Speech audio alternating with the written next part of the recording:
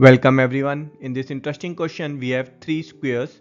This purple and blue square they are in one line and interesting is this third brown square whose one vertex coincides with the purple square and another opposite vertex coincides with the blue square.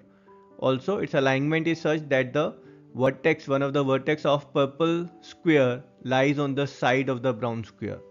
With this given data we have to find area of this blue square.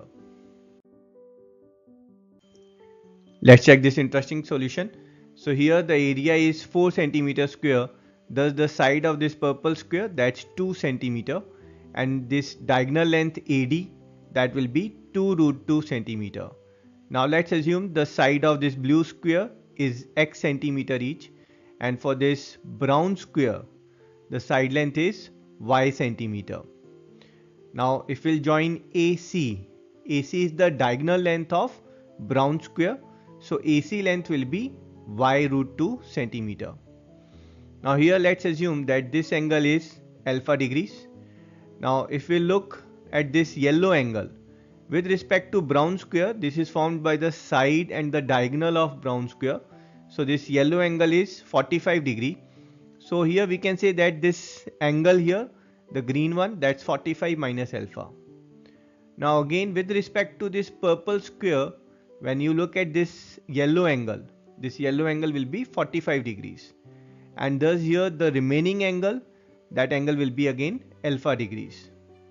So if you look at the triangle AED and triangle ABC this green and pink triangle here we have got alpha and alpha angles. And this angle E is 90 degrees and angle B here is 90 degrees. Thus by angle angle similarity we can say that these two triangles are similar as the triangles are similar, this ratio of corresponding sides will be equal. So this green triangle, we are taking this hypotenuse AD upon base AE. That will be equal to ratio of hypotenuse AC upon base AB.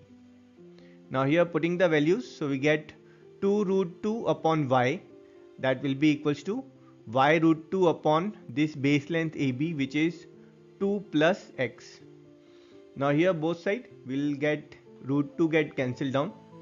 Now when we'll do cross multiplication so we will get y into y is y square. Y square is 2 times of 2 plus x or 2x plus 4 now this relation we'll use later on. Now let's look at the triangle ABC now in this pink triangle it's a right angle triangle applying Pythagoras theorem. We will get base square that is 2 plus x square plus x square is y root 2 square. Now opening up the bracket on both sides. So applying a plus b whole square formula and opening up the bracket we'll get this relation. Now here y square this y square value is 2x plus 4. So here this y square we can replace by 2x plus 4. Now simplifying on both sides.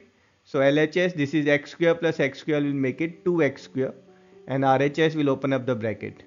Now here both LHS and RHS 4x will get cancelled down and simplifying it will get value of 2x square as 4 or x square is 2 but x is the side of blue square and thus the area of blue square is 2 centimeter square and that's our answer.